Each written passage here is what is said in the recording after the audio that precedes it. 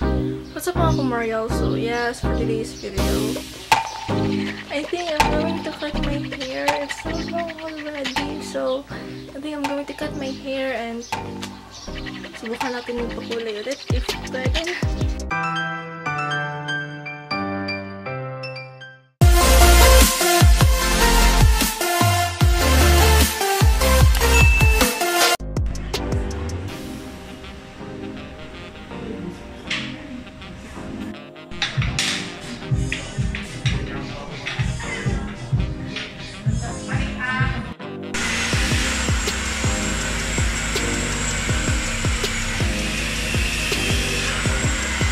Hello everyone! So ayan, nakita niyo na yung mga clips malamang yung nasa um, salon ako. Actually, dalawang salon yung pinuntahan namin. Actually, hindi ko alam kung paano. ba? Hindi ko alam kung paano ko siya itatago, but yes, it's revelation time. Ready na ba kayo? Oh my gosh, ako hindi pa ako ready. Hmm. One, two, three.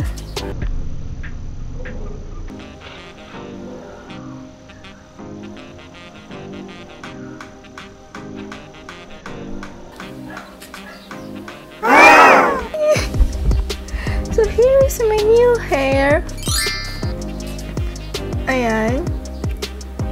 Okay lang ba? I kahit ako naninibago, but here's my new hair. Ayan, may bangs-bangs pa siya dyan. Actually, kahapon lang ako ginupitan, so it looks so cool and yeah. And I'm going to film pa after 3 days kasi kinulayan kasi yung buhok ko kaya hindi ko siya mabasa. So, this is not the actual output kasi hindi naman talaga ako straight. Kulot ako, but everyone who knows me, alam nila na this is going to be the shortest hair I've ever had. Let's see kung paano natin siya masislay kung baka hindi na ako makapag-video ulit. Hindi ko alam. I just took the risk and this is going to be my first time having a short hair because I so much love my hair.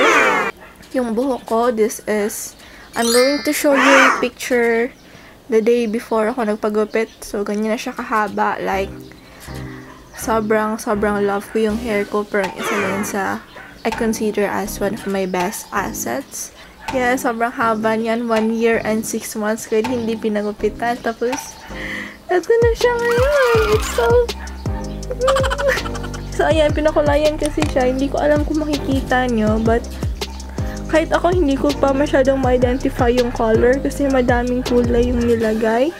Pinaghalo-halo lang yan. Actually, ang sabi nila mga after one month pa daw, before makita talaga yung color, mas magliliwanag siya. ang nangyari kasi is nagpagupit ako sa first salon and then hindi namin yun kakilala. It's just that doon nagpa-pedicure si mama so sabi niya magpagupit na lang din ako doon so nagpagupit ako and this is the outcome. Yan yung naging itsura niya. Actually, okay lang siya sa akin but na-worry kasi ako dyan kasi that's the very first time din na parang sobrang pantay yung pagkakagupit sa akin. Sobrang straight so hindi ko din alam kung ano yung magiging kalabasan niya pag nabasa na siya and all. Tapos, nung pumunta na kami dun sa kakilala ni mama, ayun, nagsuggest siya na gupitan niya pa para magkaroon ng volume yung hair ko. Tapos, ayun, pinakulayan na ako. Yung color talaga yung gusto kong mangyari. Tapos, Hinggang ganito na siya kaiksi. Ayusin natin yung parang bangs.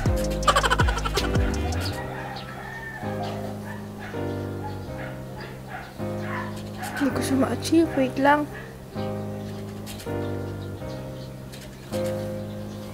Natural lang sana na ganito yung buhok ko, I would love it. But, kinakabahan pa rin kasi talaga ako kasi I'm not naturally straight. Kulot ako. And, ayun, tingnan na natin kung ano yung mangyayari. But as of now, this is my hair and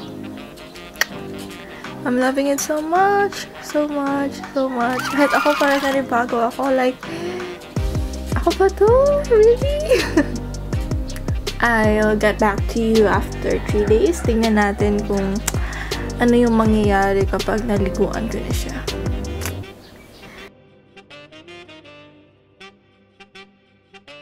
Wow! It's me and my hair! Ayan, nakaligo na ako finally. So, wait lang. Parang sobrang sagabal ng laptop ko. So, may kasama na ako dito um, hair blower and supply.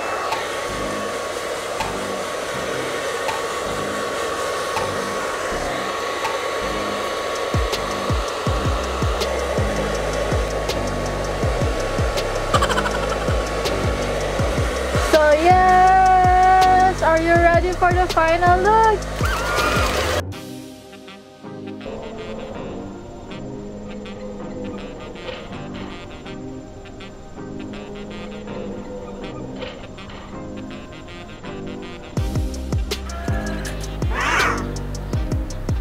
So, ito na po ang aking buhok. And yes, it's already the final outcome. I mean, it's not as straight compare dun sa naunang clips, right? Hindi siya ganun kabagsak kasi nga kulot talaga ako. It's not, I'm very kulot. Actually, I am before, but alam mo yun, habang tumatagal, parang naging wavy na lang siya and ito siya. Ito na yung result and I'm so happy.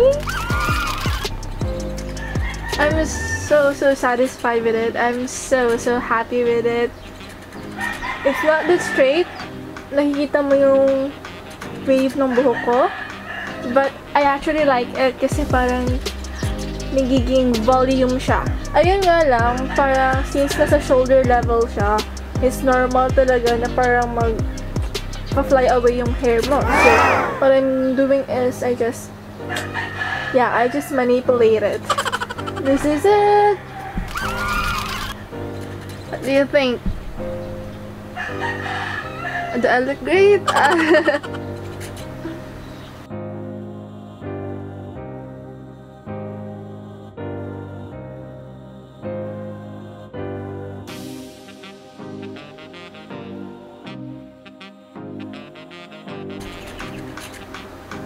So, thank you so much to the one who styled my hair. Actually, hindi ako ang nagsabi na ganito ang gawin sa hair ko. I just said na paiksian lang. So, basta maiksi lang.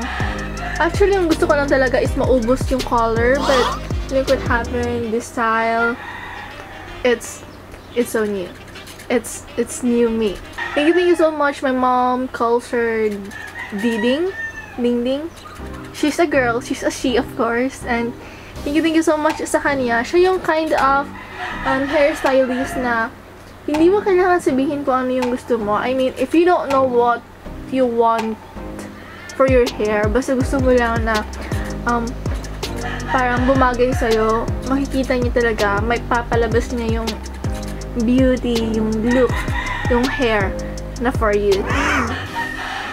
It's actually fine. I like it.